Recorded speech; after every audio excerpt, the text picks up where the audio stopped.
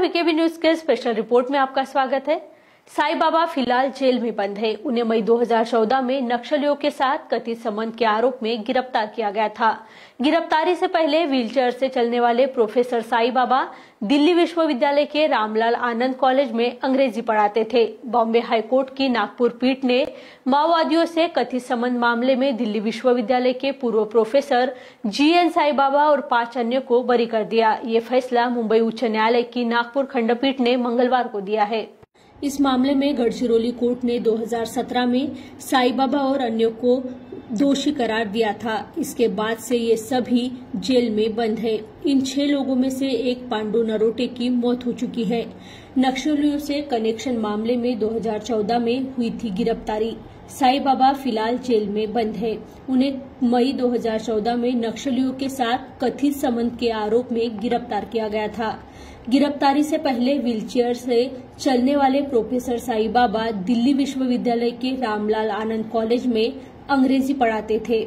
जवाहरलाल नेहरू विश्वविद्यालय के छात्र हेम मिश्रा की गिरफ्तारी के बाद साई बाबा पर शिकंजा कसा गया था। हेम ने जाँच एजेंसियों के सामने दावा किया था कि वह छत्तीसगढ़ के अबुझमाड़ के जंगलों में छिपे एक नक्सलियों और प्रोफेसर के बीच एक कुरियर के रूप में काम कर रहे थे। जीएन साई बाबा नब्बे प्रतिशत शारीरिक रूप से असक्षम है। उन्हें गैरकानूनी गतिविधि अधिनियम के तहत दोषी ठहराया गया था और आजीवन कारावास की सजा सुनाई गई थी। न्यायालयाने निर्णय दिला आहे की यामध्ये जे सँक्शन होतं त्या मुद्द्यावरही ट्रायल विशिएट झालेली आहे. दुसरं मेरिट्सवरही न्यायालयाने निर्णय दिला आहे की जे इलेक्ट्रॉनिक एव्हिडन्स आहे ते कायद्याप्रमाणे सिद्ध झालं नाही आहे. दुसरं साईबाबाच्या घरी जी जप्ती झाली सीजर झालं ते सिद्ध झालं नाही नीट. मग बाकी आरोपींकडूनही जो मुद्देमाल वगैरे जो का मिळाला ते कायद्याप्रमाणे सिद्ध झालं नाही या कारणामुळे सगळ्या आरोपींना त्यांनी निर्दोष सुटका केली. याआधी जे निर्णय झाला होता तो मुख्यतः सँक्शनच्या आधारावर होता. मेरिटवर त्याच्यामध्ये काही उल्लेख नव्हता. आणि यावेळेस जेव्हा सुप्रीम कोर्टाने आपल्याकडे हायकोर्टाला पाठवलं त्यामध्ये सँक्शन आणि इतर जे मुद्दे आहे मेरिटवर त्या सगळ्यांवर निर्णय द्यायला त्यांनी निर्देश दिले होते. आम्ही त्याच वेळेस जेव्हा जजमेंट प्रोनाऊन्स झालं मान्य कोर्टाला आम्ही स्टेची मागणी केली परंतु कोर्टाने आम्हाला निर्देश दिले की तुम्ही लेखी अर्ज करा. तर ते आम्ही लेखी अर्ज करणार आहोत आणि त्यानंतर जजमेंटची कॉपी भेटल्यावर मग पुढचा निर्णय शासन घेईल त्याच्यात माझं नाव ॲडव्होकेट हर्षल लिंगायत. आज कोर्टाने एक दशक एक डेकेड जुनं जे आहे ज प्रकरण जी एन साईबाबा जो नव्वद पर्सेंट डिसेबल्ड पर्सन आहे त्यांना आज दोषमुक्त केलेलं आहे. टेरर कायद्या अंतर्गत त्यांनी दहा वर्ष काढ दहा वर्ष काढलेले आहे कारागृहात. आणि खूप वेदना सहन केलेले आहेत. ना आज ते मान्य उच्च न्यायालयाने त्यांना निर्दोष मुक्तता दिलेली आहे. आधार काय होता? राऊत काय होता? अ, जे सिया जे एन साईबाबावर अ, विरुद्ध जे एव्हिडन्स होता इलेक्ट्रॉनिक एव्हिडन्स त्याला त्यांनी फॉर्ज केलेलं आहे. द- जे आपलं सीझर होतं त्यांच्या घरून दाखवलेलं. ते सीझर प्रूफ केलेलं नाही आहे प्रॉपरली कोर्टात. असं त्यांनी निर्णय दिलेला आहे. हो जे डिजिटल एव्हिडन्स प्रूव्ह करण्याचं जे प्रोसिजर असते ते प्रोसिजर फॉलो केलेलं नाही आहे. हो त्यांचं तर अरेस्टच डाऊट डाऊटफुल होतं ह्या केसमध्ये अरेस्ट एक एक विटनेस असा होता त्यामध्ये की ज्या, ज्या- ज्याने म्हटलेलं आहे की हे अगोदरपासून कस्टडीमध्ये त्यांना बघितलेलं आहे. इस मामले में पाँच अन्य को भी सजा सुनाई गई थी, जिनको मंगलवार को उच्च न्यायालय ने बड़ी कर दिया था। उच्च न्यायालय का निर्णय होने के बाद इस पर स्थगिति की मांग प्रतिपक्ष द्वारा की गई है, जिस पर लिखित अर्ज़ मांगा गया है, जिसका निर्णय सरकार करेगी, ऐसा भी हवाला अधिवक्ता द्वारा दिया गया। नमस्कार वीकेबी न्यूज़ के स्पेशल रिपोर्ट में आपका स्वागत है। साई बाबा फ़िलहाल जेल में बंद है। उन्हें मई 2014 में नक्सलियों के साथ कथित संबंध के आरोप में गिरफ़्तार किया गया था। गिरफ्तारी से पहले व्हीलचेयर से चलने वाले प्रोफेसर साई बाबा दिल्ली विश्वविद्यालय के रामलाल आनंद कॉलेज में अंग्रेज़ी पढ़ाते थे। बॉम्बे हाईकोर्ट की नागपुर पीठ ने माओवादियों से कथित संबंध मामले में दिल्ली विश्वविद्यालय के पूर्व professor G N Sai Baba और पाँच अन्य को बरी कर दिया। ये फैसला मुंबई उच्च न्यायालय की नागपुर खंडपीठ ने मंगलवार को दिया है। इस मामले में गढ़चिरौली कोर्ट ने 2017 में साई बाबा और अन्य को दोषी करार दिया था। इसके बाद से ये सभी जेल में बंद है। इन छह लोगों में से एक पांडु नरोटे की मौत हो चुकी है। नक्सलियों से कनेक्शन मामले में 2014 में हुई थी गिरफ्तारी। साई बाबा फ़िलहाल जेल में बंद है। उन्हें मई 2014 में नक्सलियों के साथ कथित संबंध के आरोप में गिरफ़्तार किया गया था। गिरफ्तारी से पहले व्हीलचेयर से चलने वाले प्रोफेसर साई बाबा दिल्ली विश्वविद्यालय के रामलाल आनंद कॉलेज में अंग्रेज़ी पढ़ाते थे। जवाहरलाल नेहरू विश्वविद्यालय के छात्र हेम मिश्रा की गिरफ्तारी के बाद साई बाबा पर शिकंजा कसा गया था। हेम ने जाँच एजेंसियों के सामने दावा किया था कि वह छत्तीसगढ़ के अबुझमाड़ के जंगलों में छिपे एक नक्सलियों और प्रोफेसर के बीच एक कुरियर के रूप में काम कर रहे थे। जीएन साई बाबा नब्बे प्रतिशत शारीरिक रूप से असक्षम है। उन्हें गैरकानूनी गतिविधि अधिनियम के तहत दोषी ठहराया गया था और आजीवन कारावास की सजा सुनाई गई थी। न्यायालयाने निर्णय दिला आहे की यामध्ये जे सँक्शन होतं त्या मुद्द्यावरही ट्रायल विशिएट झालेली आहे. दुसरं मेरिट्सवरही न्यायालयाने निर्णय दिला आहे की जे इलेक्ट्रॉनिक एव्हिडन्स आहे ते कायद्याप्रमाणे सिद्ध झालं नाही आहे. दुसरं साईबाबाच्या घरी जी जप्ती झाली सीजर झालं ते सिद्ध झालं नाही नीट. मग बाकी आरोपींकडूनही जो मुद्देमाल वगैरे जो का मिळाला ते कायद्याप्रमाणे सिद्ध झालं नाही या कारणामुळे सगळ्या आरोपींना त्यांनी निर्दोष सुटका केली. याआधी जे निर्णय झाला होता तो मुख्यतः सँक्शनच्या आधारावर होता. मेरिटवर त्याच्यामध्ये काही उल्लेख नव्हता. आणि ह्यावेळेस जेव्हा सुप्रीम कोर्टाने आपल्याकडे हायकोर्टाला पाठवलं त्यामध्ये सँक्शन आणि इतर जे मुद्दे आहे मेरिटवर त्या सगळ्यांवर निर्णय द्यायला त्यांनी निर्देश दिले होते. आम्ही त्याच वेळेस जेव्हा जजमेंट प्रोनाऊन्स झालं माननीय कोर्टाला आम्ही स्टेची मागणी केली परंतु कोर्टाने आम्हाला निर्देश दिले की तुम्ही लेखी अर्ज करा.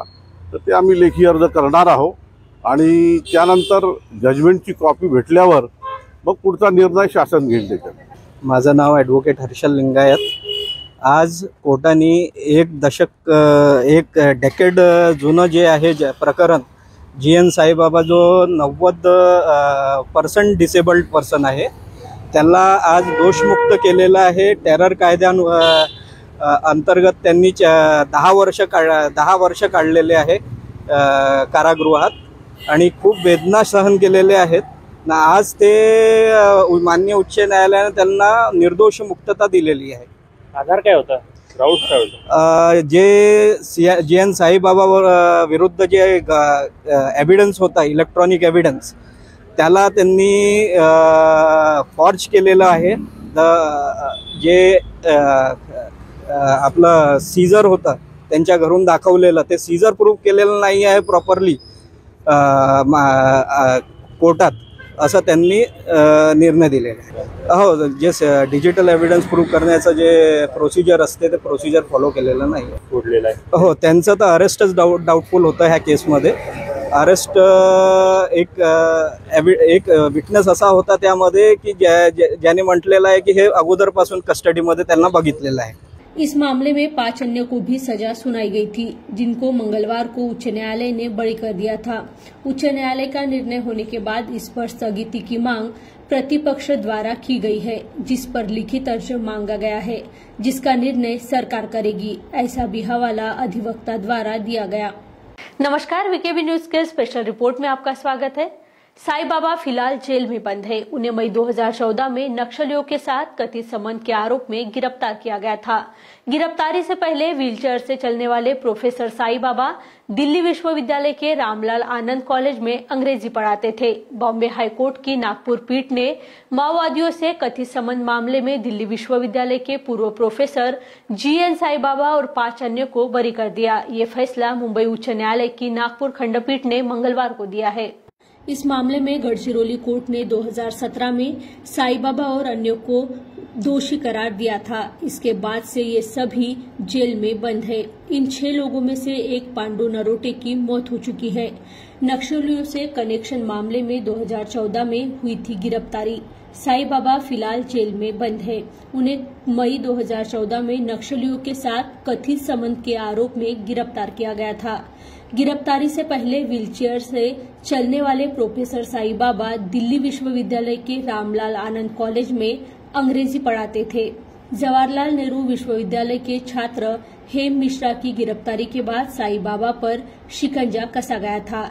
हेम ने जाँच एजेंसियों के सामने दावा किया था कि वह छत्तीसगढ़ के अबुझमाड़ के जंगलों में छिपे एक नक्सलियों और प्रोफेसर के बीच एक कुरियर के रूप में काम कर रहे थे।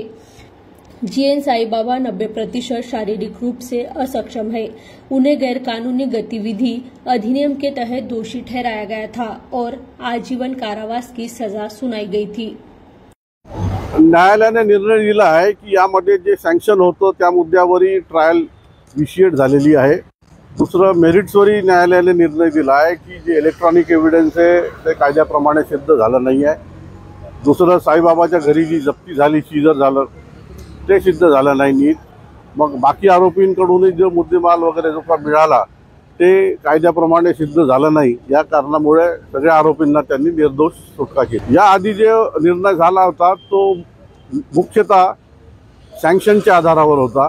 मेरिटवर त्याच्यामध्ये काही उल्लेख नव्हता. आणि यावेळेस जेव्हा सुप्रीम कोर्टाने आपल्याकडे हायकोर्टाला पाठवलं त्यामध्ये सँक्शन आणि इतर जे मुद्दे आहे मेरिटवर त्या सगळ्यांवर निर्णय द्यायला त्यांनी निर्देश दिले होते. आम्ही त्याच वेळेस जेव्हा जजमेंट प्रोनाऊन्स झालं माननीय कोर्टाला आम्ही स्टेची मागणी केली परंतु कोर्टाने आम्हाला निर्देश दिले की तुम्ही लेखी अर्ज करा. तर ते आम्ही लेखी अर्ज करणार आहोत. आणि त्यानंतर जजमेंटची कॉपी भेटल्यावर मग पुढचा निर्णय शासन घेईल त्याच्यात. माझं नाव ॲडव्होकेट हर्षल लिंगायत. आज कोर्टाने एक दशक एक डेकेड जुनं जे आहे ज प्रकरण जी एन साईबाबा जो नव्वद पर्सेंट डिसेबल्ड पर्सन आहे त्याला आज दोषमुक्त केलेलं आहे. टेरर कायद्या अंतर्गत त्यांनी च- दहा वर्ष काढ दहा वर्ष काढलेले आहे कारागृहात. आणि खूप वेदना सहन केलेले आहेत. ना आज ते मान्य उच्च न्यायालयाने त्यांना निर्दोष मुक्तता दिलेली आहे. आधार काय होता? ग्राउंड काय होतं? जे सिया जे एन साईबाबावर अ, विरुद्ध जे एव्हिडन्स होता इलेक्ट्रॉनिक एव्हिडन्स त्याला त्यांनी फॉर्ज केलेलं आहे. द जे आपलं सीझर होतं त्यांच्या घरून दाखवलेलं. ते सीझर प्रूफ केलेलं नाही आहे प्रॉपरली कोर्टात.